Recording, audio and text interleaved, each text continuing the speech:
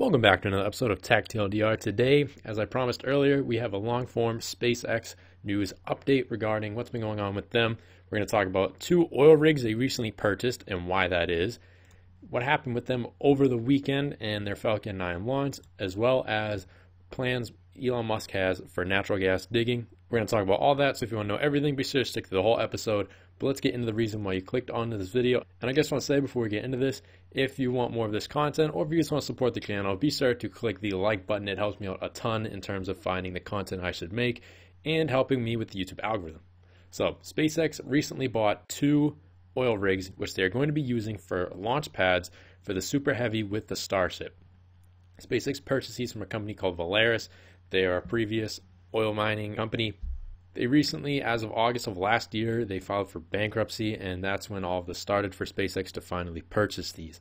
Now, the idea of launching from a space pad in the ocean is, first of all, it's a great idea because you don't have the surrounding neighbors like you do in Texas or in Florida there's less collateral damage and less problems to go. You don't have to worry about closing off highways or any streets. You don't have to worry about signaling locals to an area. You're in the middle of the ocean. Granted, you're not in the middle of the Atlantic Ocean. You're offshore, probably a few miles, but it's much safer and much more efficient in terms of protocol to have this out there.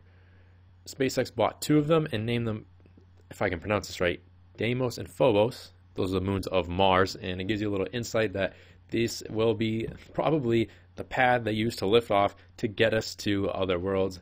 Wink, wink, Mars.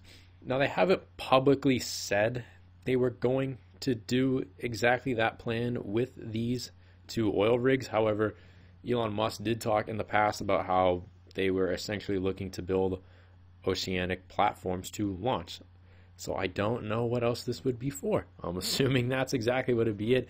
And they also posted, uh, I believe, job listings essentially catering towards turning these old oil rigs into a usable facility, if you will. And this also isn't the first time a company will be doing this.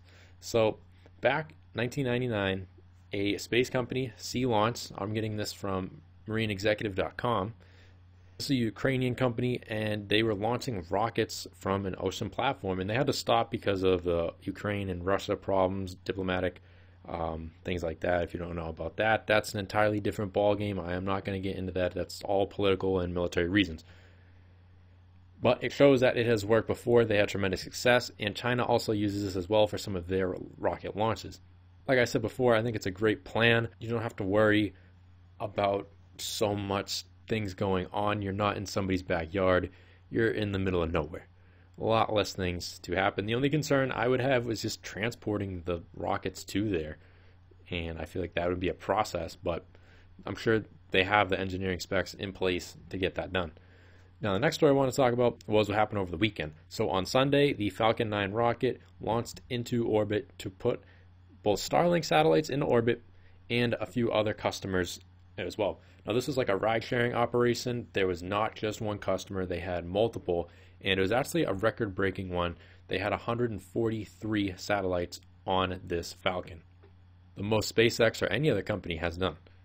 So, if you look here from CNET.com, the Starlink satellites were one of the satellites that were on there, one of the payloads. They also had other customers. They had from NanoRacks and from a German aerospace center, DLR, and the U.S. Department of Defense, to name a few. 143 satellites in orbit on one launch. This is also their third launch of the year, third of the month, and SpaceX has said that they want to do anywhere from three to four launches per month this year.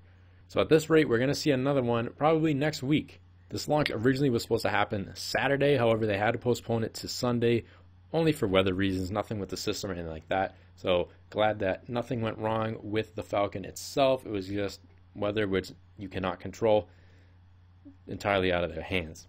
And the last thing I want to talk about was Elon Musk drilling for natural gas.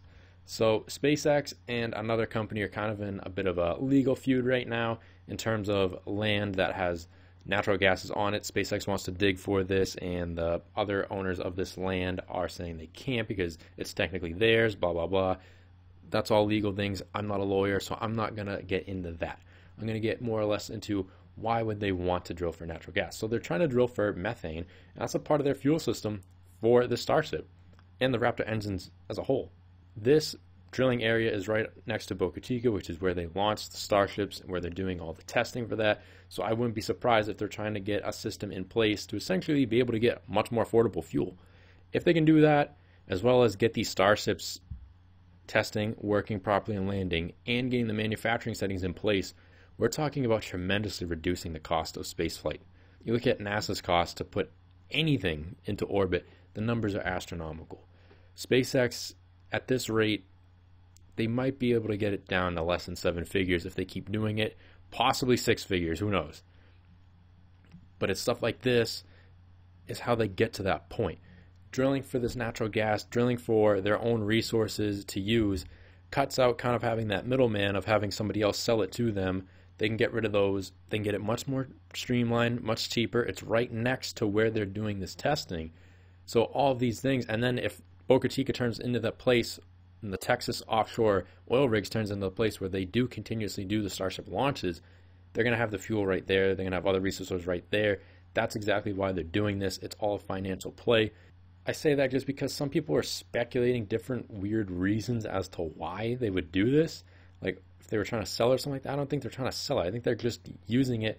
SpaceX is a smart company and they understand the fact that they're never going to get to Mars or continuously get to the moon if they don't have business systems in place. It's exactly why I talk about Starlink so much. The Starlink program, as mundane as it is for most people, it's going to bring tremendously fast internet to most a lot of people, but it also cash flows SpaceX to be able to afford more endeavors. They can put more money into the projects that they want to do and make sure they don't go into debt. They don't have to rely on investors and solely just having NASA for their random satellites like that. It's projects like that that fund the endeavors but by doing this, they can make it so much more cheaper and have the higher margins. So that's exactly what this is. If you have any other reasons why they would be doing this, let me know in the comments because I'm curious. But I mean, from a financial standpoint, that's exactly what they're doing. Now, that's all I have for you guys on this episode. If you want more of this content, be sure to click the like button and also subscribe so you always get notified when more videos like this come out.